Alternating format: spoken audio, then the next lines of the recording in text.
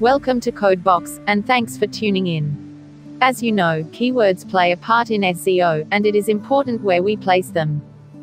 So in this short tutorial, we will walk through the places to add keywords in an HTML document.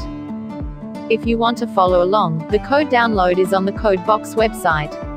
Link in the description box below. With that, let's get started. For this example, we will be working with the keyword Aha ha an Australian wasp. The first obvious place to add the keyword is in the title tag itself. This gets picked up by search engines and shows up directly in the search results. Try to keep this short, in less than 70 characters.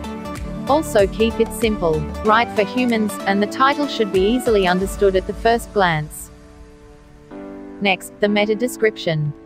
This is a short summary of the page itself, and gives search engines an idea of what your page is about. Just don't write grandmother stories, and keep within less than 150 characters. Next, we have the meta keywords. This used to be good in the 1990s. But ever since it was abused, search engines now ignore this field. Not recommended to use this anymore. Moving on, we have the JSON LD. That stands for JavaScript Object Notation for Linked Data. Basically, something like a detailed summary of what the page is about. The title, description, date published, date modified, author, and more. While this is optional, it is highly recommended to include one. This will better help search engines to understand your contents. Continuing to the next, is the first two paragraphs of the contents. Try to use your keywords as naturally as possible. For example, start the article with the Aha ha is an Australian wasp, and a joke. This will help both humans and search engines to establish the subject and context of the article itself. Finally, the last place to add the keywords is in the file name or URL itself. While this is rather low-key, this is another important piece that shows up directly in the search results. Try to keep the file name or URL as short as possible. That is, do not add dates, random numbers, or prepend it with categories.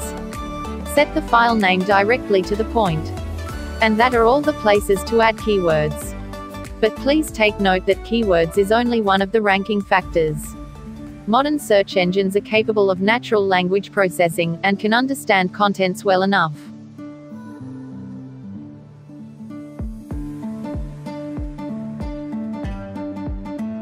Unnecessary keyword stuffing will have a negative effect, so focus on creating good contents instead.